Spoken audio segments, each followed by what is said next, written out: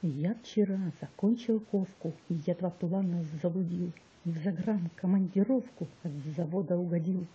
Копать сажу смыл под душем, съел холодного езя И инструкцию прослушал, что там можно, что нельзя. Там у них пока что лучше бытово, Так, чтоб я не отчепучил ни того. Он мне дал прочесть брошюру, как наказ, Чтоб не вздумывал жить с дуру, как у нас. Говорил со мной как с братом про коварный зарубеж, про поездку к демократам в польский город Будапешт. Там у них уклад особый, нам так сразу не понять. Ты уж, браток, попробуй хоть немного уважать. Будут с водкой дебаты, отвечай. Нет, ребята-демократы, только чай. От подарков их сурово откажись. Мол, у нас у самих добра такого завались. Он сказал, живи в комфорте. Эконом, но не дури. Ты, гляди, не выкинь фортель, сухомятки не помри. В этом чешском Будапеште уж такие времена. Может, скажут, пейте, ешьте, ну а может, ни хрена. Ох, я в Венгрии на рынок похожу, на немецких, на румынок погляжу. Демократки, уверяли кореша, не берут советских граждан ни гроша. Буржуазная зараза там всюду ходит по пятам. Опасайся пуще глаза, ты внебрачных связей там. Там шпионки с крепким телом, ты их в дверь, а не в окно.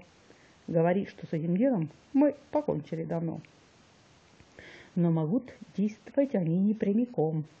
Шасть купе и притвориться мужиком. А сама на луже тола под корсет — ты проверяй, какого пола твой сосед. Тут давай его пытать я. Опасаюсь, маху дам. Как проверить? Лезь под платье? Так схлопочешь по мордам. Ну, инструктор парень дока деловой. Попробуй, срежь. И опять пошла морока про коварный зарубеж. Я популярно объясняю для невежд. Я к болгарам уезжаю в Будапешт. Если -то темы там возникнут, сразу снять. Бить не нужно. Они вникнут, разъяснять. И я по-ихнему ни слова, ни в дугу и ни в тую. Молод мне, так я любого своего перекую. Но ведь я не агитатор, я потомственный кузнец. Я к полякам в Улан-Батор не поеду, наконец. Сплю с женой, а мне не спится. Дусь, а, может, я без границы обойдусь. Я ж не ихняя замеса, я сбегу, я ж на ихнем не бельмеса, не гугу.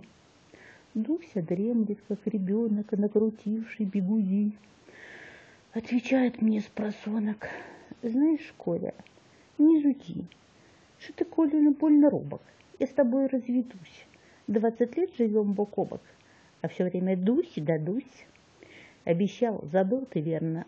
Ох, хорош, что клеенку с Бангладеша привезешь. Сбереги там пару рупий, не бузи. Хоть чего, хоть черта в ступе привези. Я уснул, обнял супругу, Дусю нежную мою. Снилось мне, что я кольчугу, щит и меч себе кую. Там у них другие мерки, не поймешь, съедят живьем.